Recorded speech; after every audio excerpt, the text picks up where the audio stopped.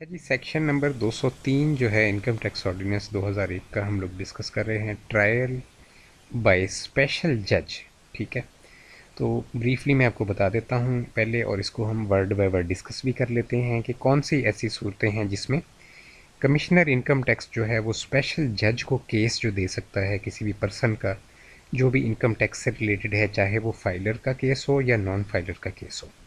तो income tax commissioner जो है स्पेशल जज को रेफ़र कर सकता है केस ये अथॉरिटी है इनकम टैक्स कमिश्नर के पास.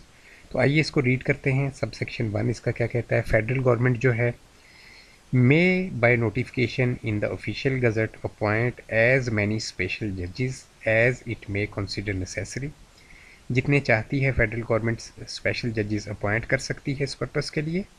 And where it appoints more than one special judge it shall specify in notification the territorial limits within which each of them shall exercise jurisdiction ठीक है तो जहाँ पे अगर वो मल्टीपल स्पेशल जज अपॉइंट करती है तो उनकी लिमिट्स जो हैं टेरिटोरियल लिमिट्स से मुराद ये है कि फैसलाबाद को कौन कवर करेगा और जो केसेस हैं हमारे पिंडी के उनको कौन कवर करेगा मुल्तान को कौन कवर करेगा ये चीज़ डिसाइडेड होनी चाहिए ठीक है अच्छा जी, उसके बाद जनाब provided that the federal government may by notification in official gazette declare that a special जज appointed under section 185 of the customs act 1969 ठीक है, shall have jurisdiction to try offences under this ordinance यानी कि basically customs act 1969 के तहत appoint किया गया जो स्पेशल जज है, उसी को ज्यूरिस्डिक्शन भी दी जा सकती है फेडरल गवर्नमेंट जो है ऑफिशियल गज़ट के अंदर ये चीज़ जो है अनाउंस करेगी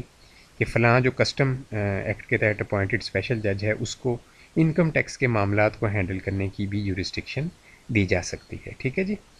अच्छा जी, उसके बाद जनाब sub section one a special जज shall be a person who is और हैज़ बीन अ सेशंस जज and shall on appointment have the jurisdiction to try exclusively an offence punishable under this part other than an offence referred to in section 198 ठीक है जी? Section 198 के अलावा जो है, बाकी चीज़ें जो हैं उनको वो उठा सकता है, यानी ये यहाँ पे उन्होंने उसकी जो लिमिट है, उसको भी डिफ़ाइन कर दिया है स्पेशल जज की। ठीक है तो सेक्शन 198 यहाँ से देख लेते हैं ऊपर। अभी हम डिस्कस कर रहे थे इसको।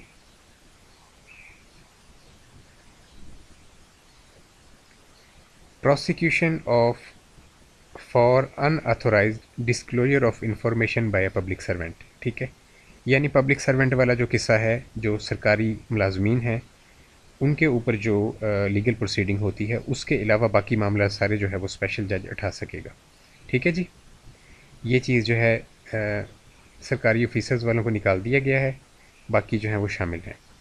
अच्छा बाकी सारे की सारी जो है 191 से लेके ऑफेंसेस स्टार्ट होते हैं सेक्शन एक सौ इक्यानवे से ऑनवर्ड ठीक है, सारे ऑफेंसेस जो हैं वो उनको रेफ़र कर सकता है कमिश्नर इनकम टैक्स स्पेशल जज को। One B sub section the provision of the code of criminal procedure 1898 except those of chapter फलां therefore shall apply to the proceedings of the court of a special जज and for the purposes of said provisions the court of special judge shall be deemed to be a court of sessions trying cases and a person conducting prosecution before the court of a special judge shall be deemed to be a public prosecutor ठीक है जी और इसके बाद हम discuss कर लेते हैं स्पेशल जज shall take cognizance of uh, and have jurisdiction to try an offence triable under subsection one only upon a complaint in writing made by the commissioner यानी कि स्पेशल जज जो होता है, उसको रिटर्न जो है कमिश्नर लिख के, फिर केस जो है वो उसको हैंड ओवर करता है इनकम टैक्स का। ठीक है जी? Provided that where the offence of income which has resulted in non payment of tax of rupees one hundred and above in case of a filer ठीक है जी? यानी कि फाइलर की सूरत में कंसीलमेंट ऑफ़ इनकम की गई है rupees one hundred and above सिर्फ़, ठीक है, एक सौ रुपये ये से ज़्यादा की। और नॉन फाइलर के लिए रुपीज़ ट्वेंटी फाइव मिलियन और अबव, ठीक है तो नॉन फाइलर ने कंसीलमेंट ऑफ़ इनकम की है अगर ट्वेंटी फाइव मिलियन, पच्चीस मिलियन या इससे ऊपर, यानी कि ढाई करोड़ रुपए बनते हैं पच्चीस मिलियन, ठीक है। In case of a non filer the procedure provided in section 203 B shall be applicable 203 B section के अंदर जो प्रोसीजर है वो एप्लीकेबल होगा इनके ऊपर। ठीक है जी? और federal government may by order in writing direct the transfer at any stage of the trial in case of court of one special जज टू द कोर्ट ऑफ़ अच्छा जी फेडरल गवर्नमेंट को ये अथॉरिटी दी गई है कि केस को वो एक स्पेशल जज से दूसरे स्पेशल जज को ट्रांसफ़र कर सकती है, लेकिन उसमें जो भी गवाहान होंगे, वो जो है वो जो दूसरी कोर्ट होगी, जो भी उसमें विटनेस होंगे, उनको कंसिडर करेगी और जो भी प्रूफ्स होंगे उनको कंसिडर करेगी, ये भी यहाँ पे मैंशनड है। अच्छा ये सब सेक्शन फोर के अंदर ये चीज़ मैंशनड है। मैं आपको बता, दिखा भी देता हूँ। Reason of transfer be bound to recall and record again any witness who has been, who has given evidence in case before the transfer, ठीक है? ट्रांसफ़र से पहले जो भी विटनेस था या कोई भी एविडेंस था तो उसको अगर ट्रांसफ़र हो जाती है किसी दूसरे जज को तो वो उसको स्पेशल जज जो सेकंड होगा, वो फ़र्स्ट वाले के जो भी एविडेंस प्रोवाइड किए गए थे कोर्ट में या विटनेस जो थे, उनको बुलाएगा। ठीक है? यानी कि उनको कंसिडर करेगा। ऐसा नहीं होगा कि वो नए सिरे से, नया केस जो है, वो स्टार्ट कर देगा।